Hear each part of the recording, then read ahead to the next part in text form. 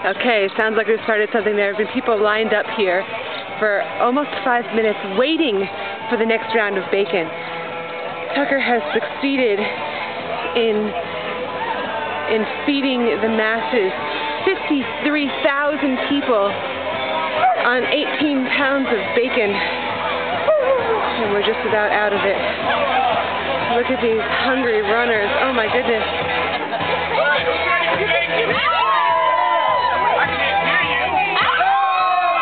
Hey!